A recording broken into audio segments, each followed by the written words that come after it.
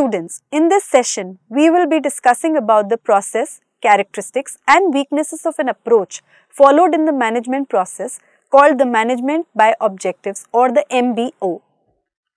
Introduction By using your planning and organizing skills in the workplace, you will get a lot more work done, be able to meet deadlines and to prove to your boss and colleagues that you can do it. If you plan and organize a job well, it will be productive and positive experience for everyone. Every job requires planning and organizing that is specific to the job to be performed. It needs to have an objective that can lead to the successful execution of the job. Let's know about management by objective in this session. Management by objectives. Management by objectives is one of the most modern approaches to management, which was introduced by Peter Drucker in the book The Practice of Management in 1954. Later, the concept was elaborated by various writers like George S. Odiorne, Edward Selkes, Carroll, Tosi and Douglas McGregor. Peter Drucker mentioned that what the business enterprise needs is a principle of management that will give full scope to individual strength and responsibility and at the same time provide a common direction to vision and effort, establish teamwork and harmonize the goals of the individuals with the common organizational goals. Management by Objectives or MBO is now practiced around the world. Yet, despite its wide application, it is not always clear what is meant by MBO. MBO is difficult to define. Organizations use it in different ways and for different reasons.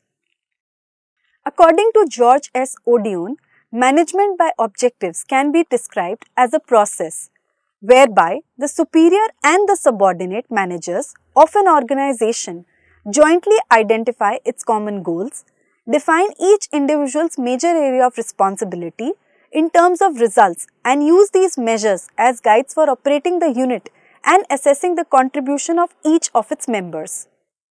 In the words of Koontz, O'Donnell and Weihrich, MBO is comprehensive managerial system that integrates many key managerial activities in a systematic manner, consciously directed towards the effective and efficient achievement of organizational and individual objectives.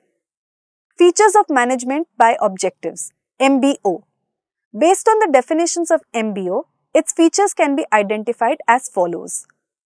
MBO as a philosophy MBO is a philosophy of management. It is more than a set of techniques. It emphasizes on what is to achieve, not how to achieve. It suggests how the best use of available resources may be done to achieve the expected objectives.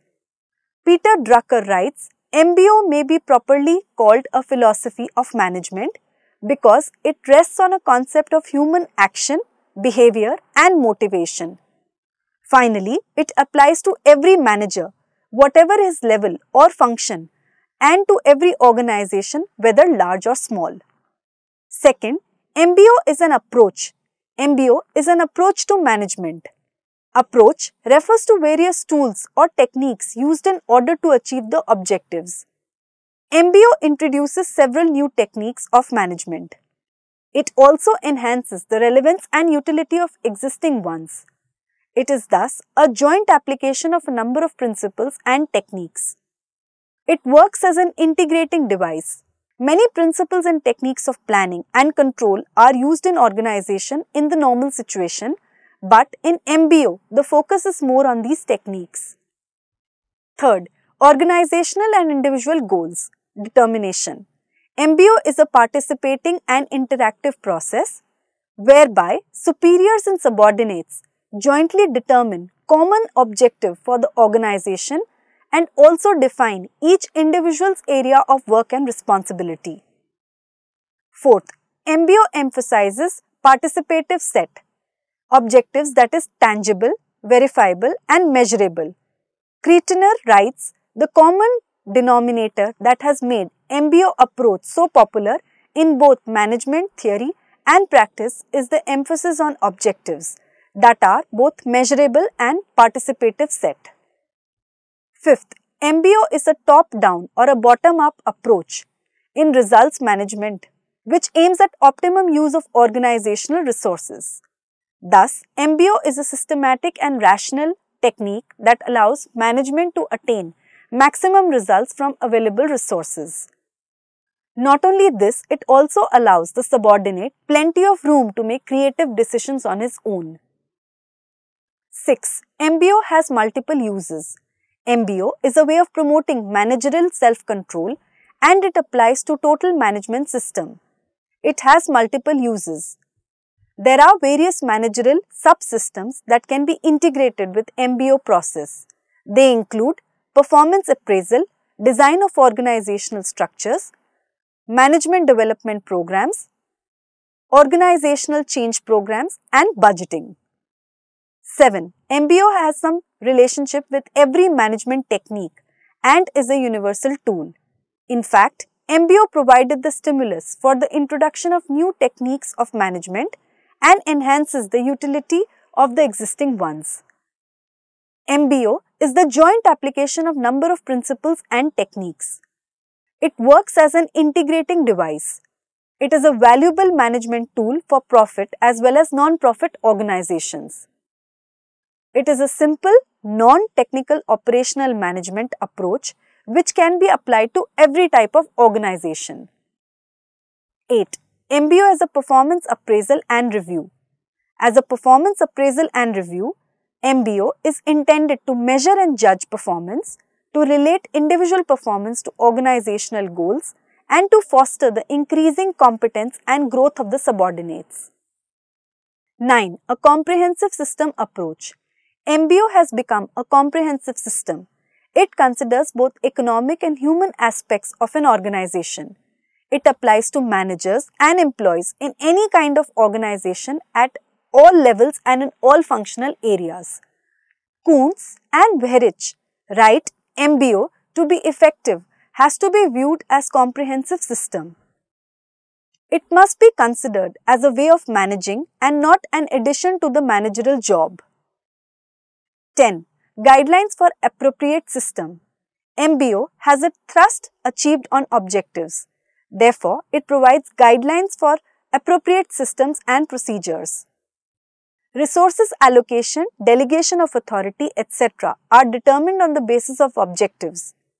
Similarly, reward and punishment system is attached with the achievement of objectives.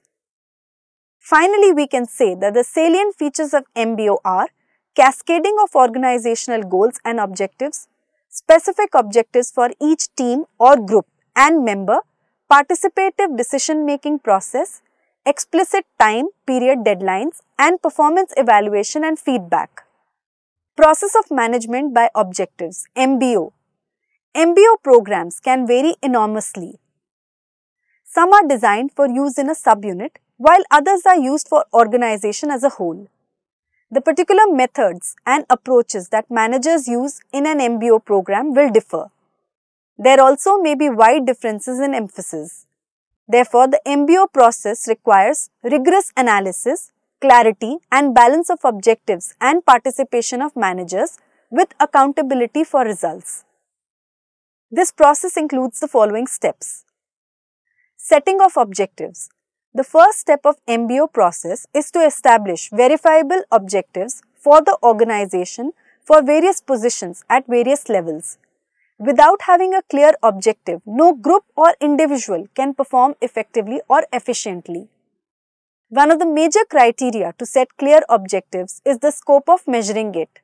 Therefore, objectives should be set in such a way that they provide a clear direction to the people who have to contribute and perform for achievement of the same. It is always desirable to have a participatory approach to set objectives. However, management aspirations and expectations should be kept in view while adopting a participatory approach to set objectives. Setting precise, measurable and well-defined objectives is indeed a difficult task. It requires an intelligent input from superiors and practice and team effort on the part of the subordinates. The objective defined in an MBO should be verifiable, indicate the time frame within which they are to be achieved, indicate associated cost involved, indicate quantity and quality aspects of the expected achievements, help in promoting personal and professional growth and development, get duly communicated to all who are concerned with it, align short-term objectives to medium and long-term objectives. Second, key result areas. Organizational objectives and planning premises together provide the basis for identification of key result areas. Key result areas are derived from the expectations of various stakeholders and indicate priorities for organizational performance. They indicate top management perspectives for the future and the present state of health of the organization. These are the areas in reference to which organizational health may be measured or appraised for. For example, profitability, market standing, innovation, productivity, etc. These areas are not the same for every organization. They may differ from organization to organization depending on various internal and external environmental factors. Third, setting of subordinate objectives. Organizational objectives are achieved through individuals. Therefore, every individual must know in advance what he is expected to achieve. Objectives for each subordinate should be set in consultation between that subordinate and his or her supervisor. A degree of recycling is required in setting of objectives. This means that a degree of interaction, consultation and discussion among top level managers, department heads, superiors and subordinates is necessary. In such joint consultations, subordinates help managers develop realistic objectives since they know best what they are capable of achieving. Managers help subordinates raise their sights towards higher objectives by showing willingness to help them overcome obstacles and confidence in subordinates' abilities. Fourth, revision of organizational structure. When the goals for each individual are reset under MBO, there is a considerable change in the job description of various positions. This may call for a revision of the existing organization structure. The organization charts and manuals should be suitably amended to depict the change brought about by the introduction of management by objectives. The job description of various jobs must be defined with their objectives, responsibilities and authorities. They must clearly lay down the relationship with other job positions in the organization. 5. Matching objectives and resources. It should be noted that without a proper balance between the objectives and the resources, the achievement of goals will be difficult. Hence, the superiors must ensure combination of goals with available resources. All managers at various levels require to these resources to accomplish their goals. By relating these resources to the goals themselves, superiors can better see the most effective and most economical way of allocating them. 6. Conducting periodic progress reviews. Management by objectives ensures periodic meetings between the superior and the subordinate to review the progress towards the goal attainment. For this, the superior must establish checkpoints or standards of performance for evaluating the progress of subordinate. The reviews should be held monthly or quarterly. These reviews serve as a built-in feedback mechanism for an MBO system. Since individual or group goals are specifically defined, Usually in quantifiable terms, employees can compare their progress at review time against the specified goals. This periodic checkup allows managers and employees to see whether they are on targets or whether some change is necessary. During the review, managers and employees decide what problems exist and what they can do to resolve them. 7. Performance appraisal while informal performance appraisal of a subordinate is done by his immediate superior almost every day, formal appraisal at periodic interval, usually once or twice a year, does ensure that a thorough evaluation of a manager's performance is done and his achievements are carefully analyzed against the background of prevailing circumstances and given objectives. Performance appraisal The design and the format of the performance review form will depend on the nature of the enterprise. Performance appraisal can serve three purposes. Feedback to employees concerning their actual performance, provide the basis for identifying more effective job behavior, supply information to managers relevant to future job assignments and to compensation decisions. 8. Feedback. On the basis of overall evaluation, the feedback is provided to higher level of hierarchy. Feedback information helps in taking decisions to make necessary changes in MBO program and to shape goals for the next year. The MBO cycle repeats itself on an annual basis. Benefits of management by objectives. Management by objectives is a comprehensive management planning and controlling technique and is bound to affect the entire organization structure culture. Management by objectives calls for regulating the entire process of managing in terms of meaningful, specific and variable objectives at different levels of managerial hierarchy. It stimulates meaningful action for better performance and higher accomplishment. It is closely associated with the concept of decentralization. In the year 1954, Drucker noted that the first requirement in managing managers is management by objectives and self-control. The main advantages of MBO are better management of organizational activities. By applying MBO, organizational resources and activities can better be managed which shows improved results. How the performance of an organization can improve through MBO can be classified on the following five assumptions laid down by L.M. Prasad. These are clarity of objectives, role clarity, periodic feedback of performance, participation of managers in the management process, Clarity in organizational action. MBO tends to provide the key result areas where organizational efforts are needed. A key factor in objective setting is the external environment in which the organization operates and any change in the external environment should be considered very carefully at the time of the objective setting. Provides maximum personal satisfaction. MBO provides maximum opportunity for personal satisfaction.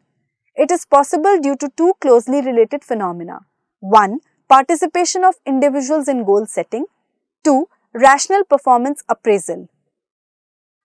People are involved in goal setting and it is a source of inspiration to them. MBO provides guidelines for appraising performance. Therefore, there is no room for any partiality. Basis for organizational change. MBO initiates and stimulates organizational change and it provides framework for planned change. Due to change in internal and external factors, a change is required in any organization. Sometimes change is resisted by the people in the organization. But by the MBO, the changing process becomes easier because there is a constant interaction between superiors and the subordinates.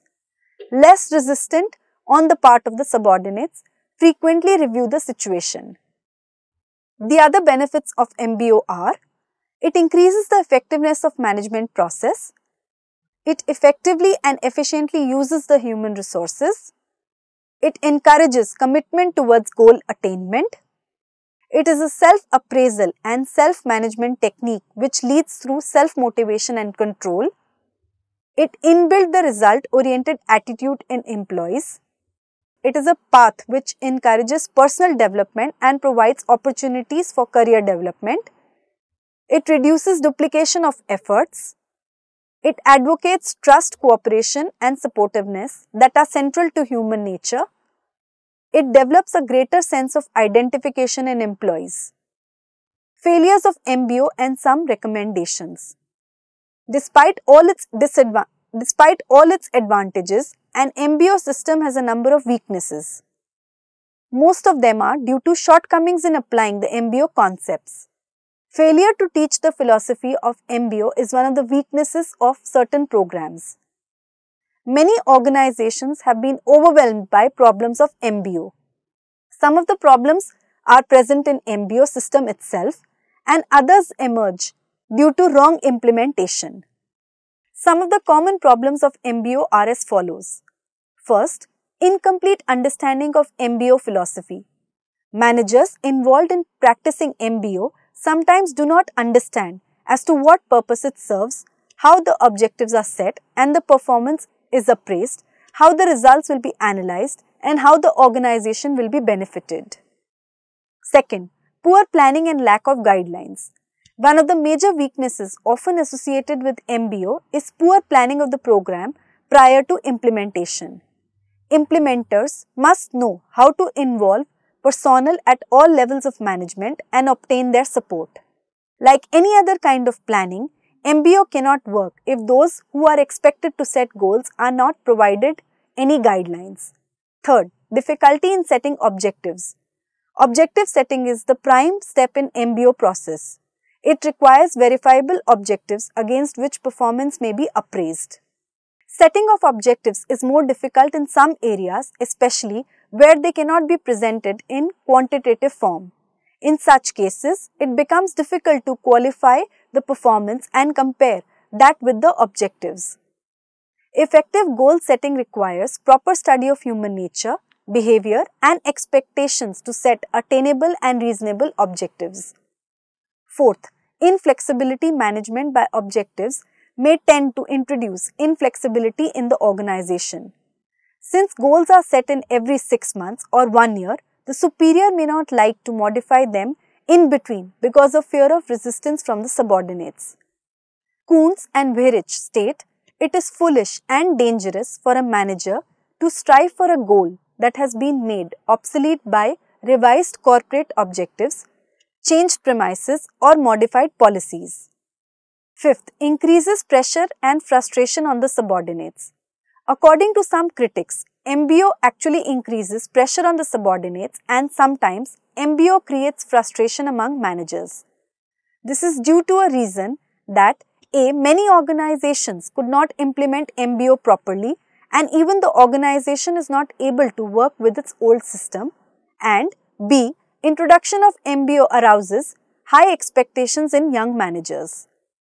They are over-enthusiastic in making rapid change in terms of growth and profitability for organization and career development for themselves. If rate of change is slower than expected, then they feel frustrated.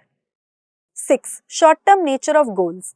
In most MBO programs, managers set goals for the short run, usually for a year or even less.